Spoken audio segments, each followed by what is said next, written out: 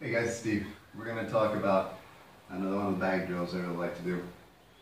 Swinging bag. We're going to step aside, let that bag move past us. Alright? Flow.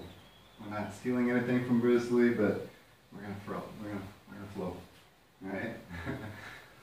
so that bag comes moving, our opponent comes at us. Take advantage of that. Alright? This is all about that. Simple movement, but it's all about the, uh, the balance of the bag, the comfortable uh, nature of just being in, in tight with the bag and, and moving around it. And uh, we'll talk more about that and uh, do a drill in uh, uh, another video that's linked in the description below. But today we're going to talk about stepping aside. In the previous video, if you didn't see it, it was one, two, moving in, one, two, step back. Moving in, one, two, this time, similar, but we're going to step to the side. And we're going to step to the side.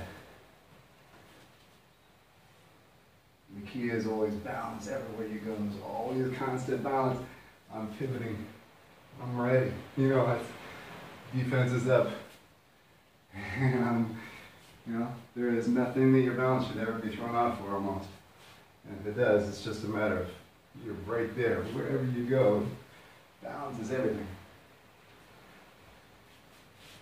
And keeping that defense up, being dynamic with it, and being ready at any given time. Just explosive rotation and punch.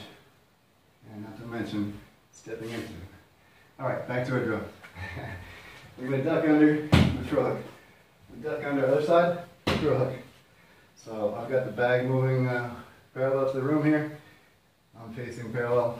I step over, I'm back to parallel. Real simple drill. I am not too far from the center of the bag actually. And I'm going to take advantage of when the bag is moving to me.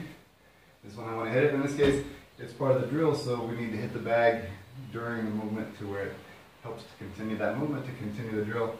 But normally in any given case, we always want to hit our opponent when it's moving towards us. Take advantage of that extra inertia.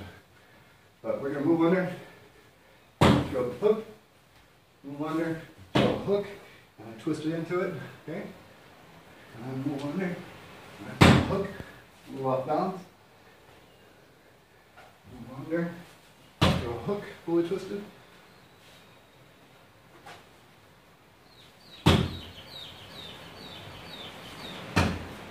We can double that up. We can divide head. As an example, obviously no limit to this kind of exercise. The key is balance, comfortable with the closeness of the bag. But really we're talking about just letting our opponent move without threatening us. In fact, the opposite. We're going to take advantage of that.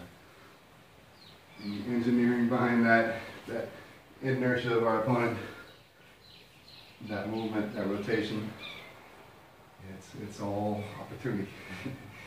Nothing but opportunity, all right? We're moving to the side, and we're moving to the side. Or we can also be aggressive with it and move to the side, but attacking inward. Moving to the side, but I'm stepping in, moving to the side, letting whatever happen go, moving to the side. And coming into attack. Watch out for that double leg. Oh, here he goes. That's your feet. All right, guys, you like this, you know, click like. If you want to subscribe, you know, subscribe, click it. If you want to see one of the following videos, one of the previous videos I was talking about, check it below. If it's not linked below, you'll see it on the page. All right? I hope you uh, learned something. I hope that I was able to share something that could be beneficial. If you think so, then share it. Sharing the love. Peace. Next time.